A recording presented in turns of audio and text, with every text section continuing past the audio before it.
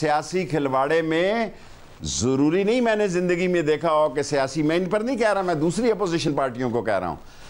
कि वो सियासी खलवाड़े में अगर ये समझ रहे हैं कि उनका कोई काम बनने जा रहा है तो नहीं बनने जा रहा। आप इंतज़ार करें इलेक्शन का। मगर मगर शेख साहब देखें इस इशू के ऊपर में लोग आपको वोट देते हैं तो, तो मगर इस इशू के ऊपर तो आप देखिए ना जो 2017-18 में हो रहा था जिस तरीके से सियासी जमातें एक्ट कर रही थी चाहे वो तरीके इंसाफ हो या आप हो उस तरीके से अपोजिशन नहीं कर रही है। जिस तरीके से मीडिया उस वक्त कवरेज दे रहा था उस तरीके से नहीं कर रहा है। मगर सवाल ये हो रहा है कि हुकूमत की पॉलिसी क्या है? जैसे बातें जैसे कहने की ये कहने की बातें ये कहने की बात है। शाहजेब मेरे पास एज इंटीरियर मिनिस्टर सारी एजेंसीज की रिपोर्ट आती है। शेख साहब किसी एक किसी एक सियासी लीडर का बयान बताया जिसने कहा कि हम तरीके मेरे कारकुन कह रहे कि तरीके लब्बैक को जाके ज्वाइन कर लो। सियासी लीडर मुझे मुझे मेरी बात सुने शाहजेब सारी बातें टीवी के अंदर आके मैं अपने कपड़े नहीं धो सकता। मुझे अपनी ज़िम्मेदारी का एहसास है। मैं रेलवे में मिनिस्टर होता तो शायद जो आप कहते मैं कह देता। अब मैं इस ज़िम्मेदारी पे हूँ, इस ज़िम्मेदारी का मेरा तकाजा है कि मैं वफा और जफा में और दुआ और दगा में एक नुक्ते का फ़र्क है। हम दुआ लिखते रहे, वो दगा पढ़ते रहे, एक ही नुक्ते ने महरम से मुजरम कर दिया। सो मैं महरम से मुजरम नहीं बनना चाहता। इसलिए मैं आपको कह रहा हूँ कि हमारे मामलात उस जगह पर ना पहुँचें कि वापसी ना हो। ये मस्जिद रहमत आलमीन में जाएँ, जो इनके मतालबात इनसे तय हैं। हम मानने के लिए तैयार हैं। अगर ये नहीं जाते और बढ़ते आते हैं तो उसके नतज की फिर कोई ज़िम्मेदारी ना हो। इमरान खान इस मुल्क में हुकूमत की रिट कायम करेगा, उसके नतीजे चाहे कुछ ही क्यों ना निकले। मगर शिक्षा फिर कोई एक बात होती अगर कौम को पैगाम देना है कि जी रियासत ने एक संजीदा फैसला किया है और कोई ऐसी बात नहीं है। तो ये कैसे हो सकता है कि एक दिन रियासत कहे कि इनकी तमाम बातें मान ली हैं अगले दिन कहे कि ये अस्करियत पसंद है और फिर इंडिया के एजेंडे पर हैं और इंडिया से इनको फंडिंग भी आ रही है कह दिया और फिर कभी आशिक रसूल नहीं है। कह दिया यार शाहजेब लोगों लोगों के मुँह से निकल जाता है। मेरे मुँह से भी गलती हो सकती है।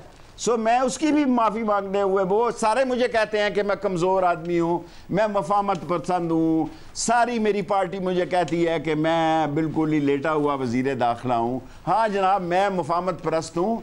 मैं नहीं चाहता कि बात आगे बढ़ जाए। और अगर बात आगे बढ़ी तो याद रखना जो सड़कों पर है इन्हीं का नुकसान होगा। तो तो शेख साहब यानी अगर मगर कल वज़ीर शेख साहब मुँह से नहीं निकला वज़ीर इतलात ने हब हबे में वज़ीर पाकिस्तान और इस्लाम को नुकसान पहुंचेगा। शेख साहब मुँह से नहीं निकला वज़ीर इतलात ने बाकायदा तौर पर काबीना की मीटिंग के बाद प्रेस कॉन्फ्रेंस की है आज ट्वीट्स भी किए हुए हैं।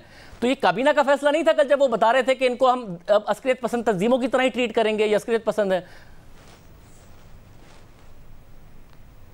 देखें, मैं भी प्राइम मिनिस्टर साहब की एडवाइस पर, मैं उनकी एडवाइस का पाबंद हूँ।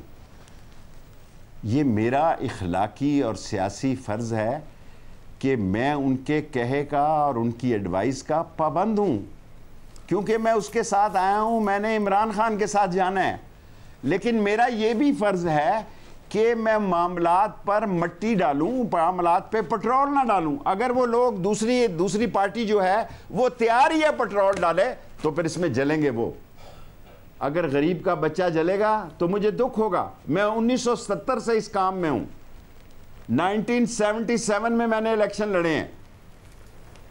मैं इस 50 साल तजर्बे से आपको कहता हूँ कि अल्टीमेटली तशद से कभी कामयाबी नहीं होती।